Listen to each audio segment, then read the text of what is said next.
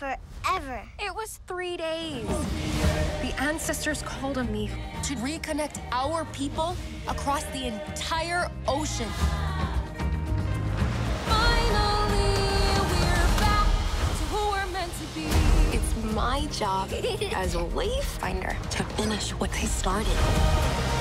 It'll be harder than anything we faced before. Well, now I kind of miss the lava monster. You might want to hold on. Oh, finally, we're back to who we're meant to be. Um, Maui and Moana together again. Disney's Moana 2. Hey, you wanted to come this time. Only in theaters November 27th.